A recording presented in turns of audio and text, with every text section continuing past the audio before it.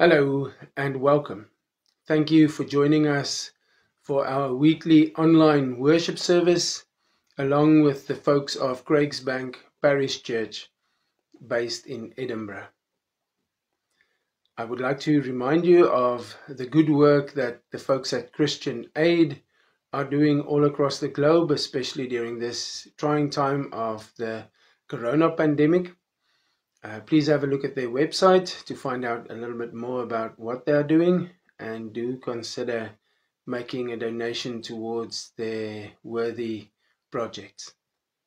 As we are gathered here today, I greet you in the name of our Lord Jesus Christ with grace, mercy, and peace. Shall we answer the greeting of the Lord by singing our first hymn together?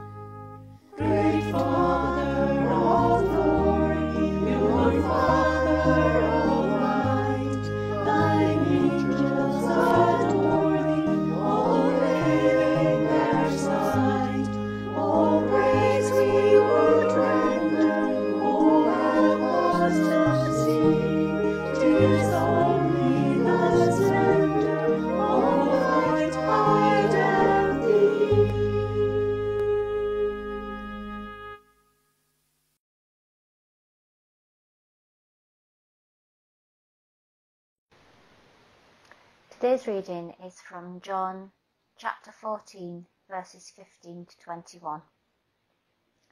If you love me, you will obey what I command. And I will ask the Father, and he will give you another counselor to be with you forever, the Spirit of truth. The world cannot accept him, because it neither sees him nor knows him. But you know him, for he lives with you and will be in you. I will not leave you as orphans, I will come to you. Before long the world will not see me any more, but you will see me. Because I live, you also will live. On that day you will realize that I am in my Father, and you are in me, and I am in you. Whoever has my commands and obeys them, he is the one who loves me.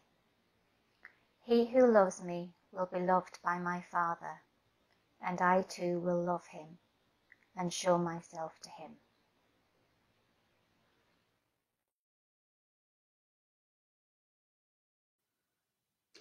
Would you like to know a secret?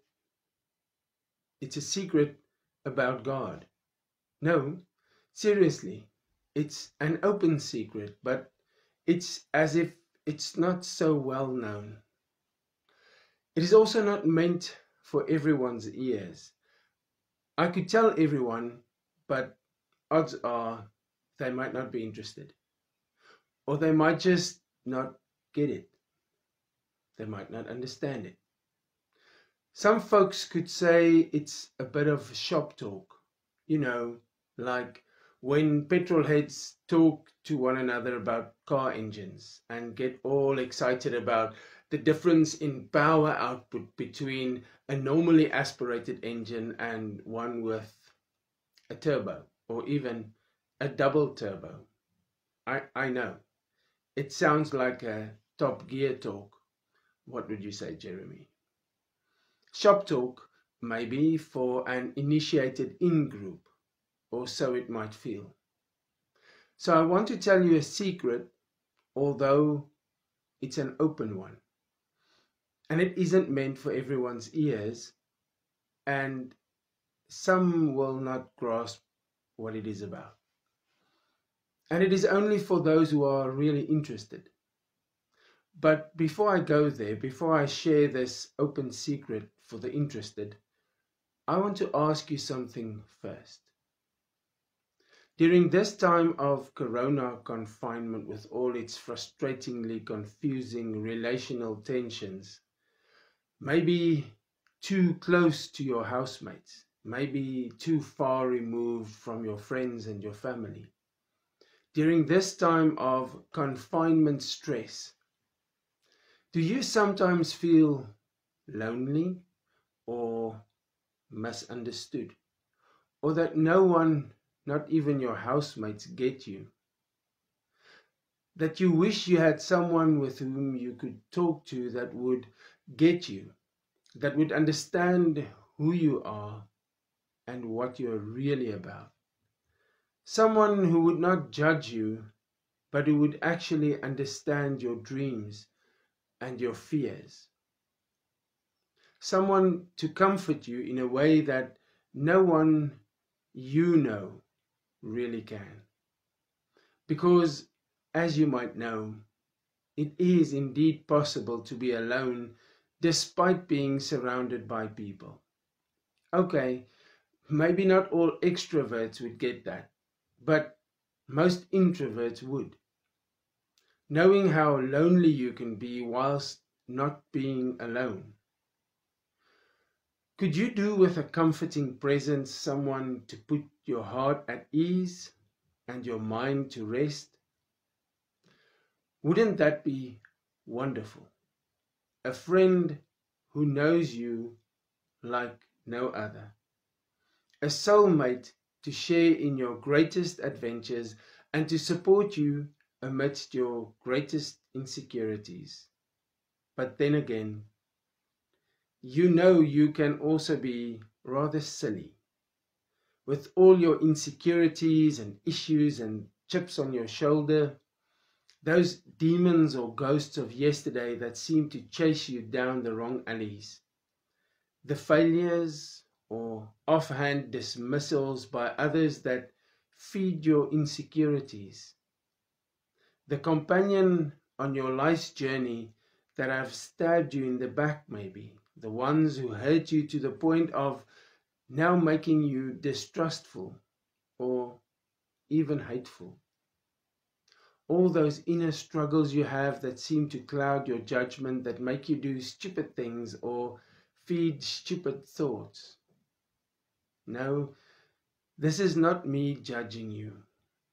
This is me understanding what you might be facing. Understanding from experience. So, if that is the case, then do you really want a pal, a friend, a comforter who will effectively be your soulmate, soulmate to the point of just nodding approval to all your dreams and fears? Do you want a soulmate who puts his or her arms around your shoulder saying, Aye, that's true. It's just like you say, nodding affirmingly to every dream and desire and fear you might have.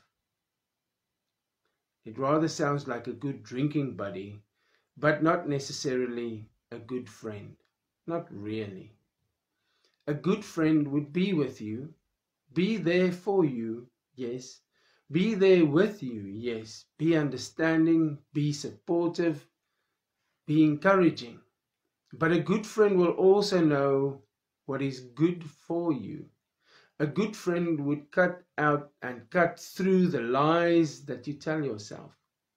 A good friend will also have a good advice for you, will be honest and tell you not only what you want to hear, but also what you need to hear. A soulmate will cry and laugh with you, but will also warn you and, when necessary, guide you or even give you a good old slap in the face just to open your eyes, to wake you up, to smell the coffee that is your real life. Otherwise, this friend of yours is nothing but an echo chamber for your own whims and fancies and issues. After all, you would want a confidant that you can have confidence in. A soulmate that has her or her or his own soul and personality. An other. Another person, in other words, not just a mirror image of yourself. And that is the secret I want to share with you. The secret of the promise that you can have the most amazing, most adventurous, most brave, most gentle, most innovatively creative, stupendously inspiring friend who will be with you, journeying with you through the ups and downs of your life. A friend who will not judge you, but who will also not leave you to wallow in your own limited understanding of reality. A friend who will support you in a way that makes your life more meaningful, not necessarily more pleasant. The scripture that Jackie read to us from John chapter 14 shows Jesus talking to his friends before he leaves them behind. He tells them this you can have me as your closest best friend. Well, actually, it will be my spirit. I know it sounds weird. But that's what Jesus promises. He promises He's guiding, nurturing, challenging, engaging, comforting presence. How wonderful that would be. I can testify from personal experience that the Spirit of God has guided and challenged me, reprimanded me, and restored me. Now, I'm not perfect. I know that. Far from it. But I am not alone. I am not lonely. By the grace of God, through the very presence of the Spirit of Jesus in me, I have been enabled to be more than my insecurities, to grow beyond the limitations that the accuser would want to restrict me to. Most importantly, the Spirit of God has not only guided and strengthened me, but has put my heart and my mind at rest. I am reminded that I am loved, I am forgiven, and I am also able to love. Contrary to what the world or I myself would allow me to believe from time to time. Remember, I said not everyone will get it. That's what Jesus says. He states that the world cannot accept the Spirit of God. Sorry. Sorry for the world.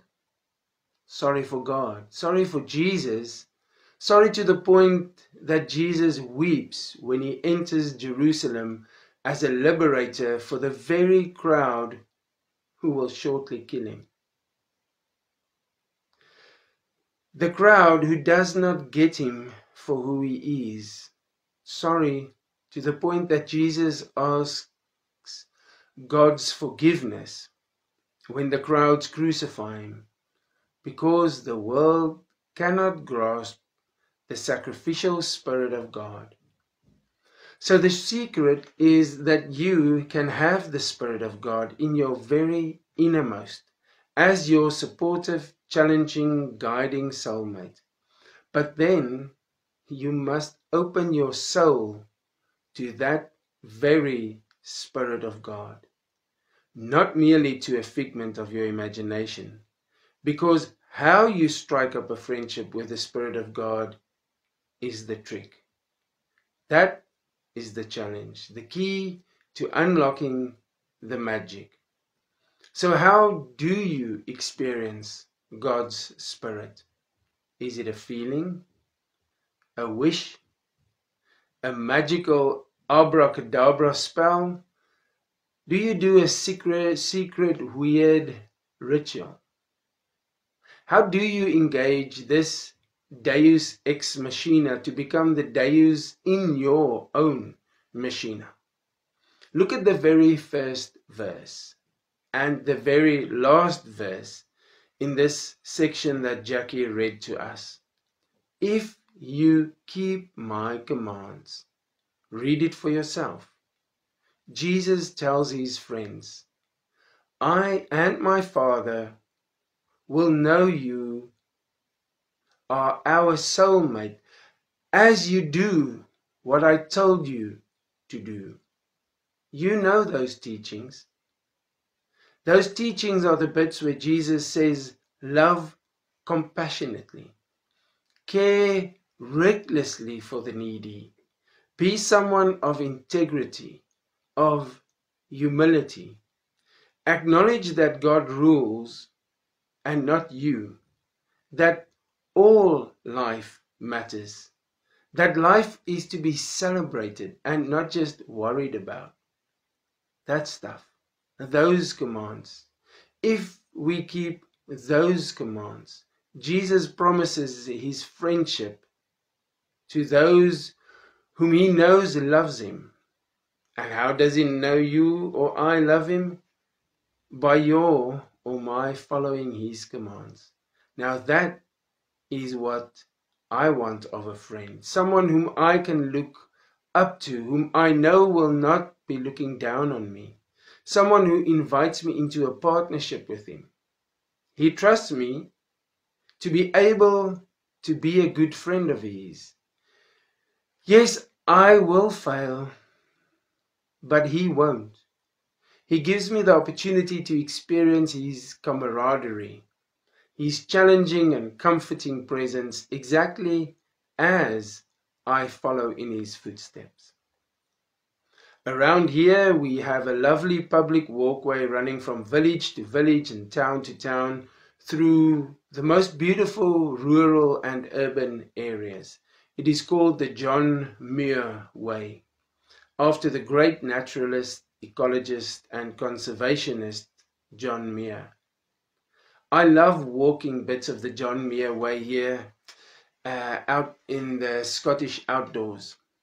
Now imagine if John Muir himself was walking with me, opening my eyes to the glories of the nature around me, sharing his insights with me as a friend.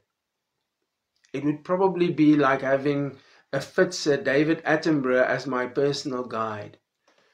And here we have badger tracks, heading on towards that tree stump. Come, let's have a look. Yes, there you can see the bees trying to restore the damage that the old badger did when she helped herself to much of their honey. Now imagine the Jesus Christ way.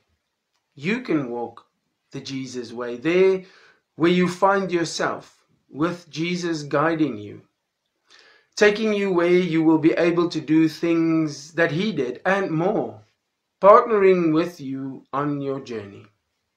A friend for life. That's the secret. Amen. Let us pray together. Our Father in heaven, we thank you for the family of faith, united in our desire to follow Jesus. Thank you for those with whom we have laughed, who have made this world a more cheery place. Thank you for those with whom we have wept and we have shared our sorrows with in our times of need.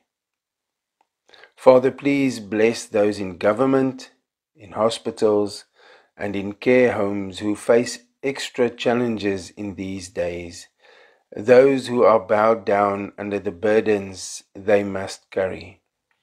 Please give them extra strength, grace, and wisdom. We pray for those who are crushed by their responsibilities and those who feel the pain of our world, in particular charities like Christian Aid. Help them to keep on going Please bring supportive friends alongside them. Give them tokens of your grace, fresh vision and courage, and signs of encouragement in their struggle. God our Father, bless those who are lonely, those who have grown old and whom the passing years have taken their friends and contemporaries. We bring the lonely and their loneliness to you, O God, you who delight to put the solitary into families. We pray for strangers in a foreign land, for asylum seekers and refugees, separated by language and culture from familiar ways and much loved customs. We remember all those who, even in the midst of crowds, feel lonely. We remember those who have lost loved ones for whom they have cared, whose needs they have met whose lives have been so intertwined that they still listen for a voice they will not hear again. Help the church family, we pray, to be a place of acceptance and belonging, a place of welcome and inclusion, where all can find a home, a listening ear, a friendly smile, and a helping hand. Father, send us forth this day with the joy that no one can take from us, the life which is your life, and the hope that gives strength to our actions. In Jesus' name we pray. Amen.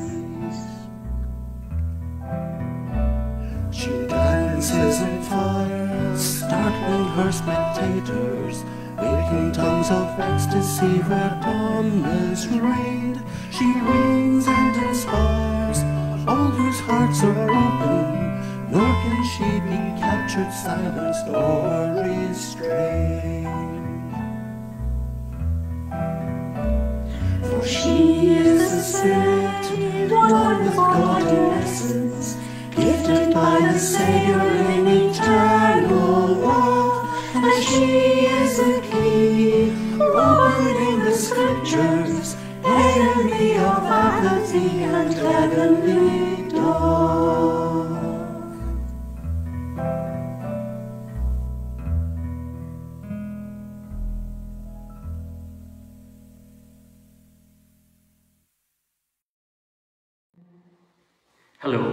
Sunday, the 10th of May, is the start of Christian Aid Week. It is usually about gifted envelopes, or door to door collections, or as last year, a Mad Hatter's Tea Party. This year is different. Christian Aid Week is moving online. The need, however, is greater than ever. The poorest communities are hit hardest by coronavirus. Now is the time to reach out to our neighbours, both near and far. Christian Aid have more than 70 years' experience of working in partnership to support communities to thrive. They tackle the root causes of poverty so that women, men, and children the world over are strengthened against future events. And when disasters happen, Christian Aid get people the help they need straight away. Please donate on the Christian Aid website, caweek.org, and remember to gift aid your donation if appropriate. Or just put money in an envelope and I can collect it when more normal times return. Send love and hope this Christian Aid Week to our neighbours both near and far. Take care, stay safe, and consider donating to Christian Aid today. Thank you. God bless. And now, as we finish up our worship time together, I would like to invite you to join in on our Zoom coffee blather, which we normally have on a Sunday morning at half past 11. That's 11.30 on a Sunday morning. So I don't know what time you might be viewing this service, but Sunday mornings 11:30 if you're interested in our Zoom coffee session. The details are up on our website. And also I would like to uh, tell you about the Craigie's Kids Corner program that we have that we upload once a week onto our Facebook page. So if you have a preschool or a primary school child in the house, then it might be interesting for you, uh, especially for your child, to participate in the Craigie's Kids Corner. I leave you now with the reminder what our Lord Jesus Christ said when he said, And remember, I'll be with you even until the end of the age. Amen.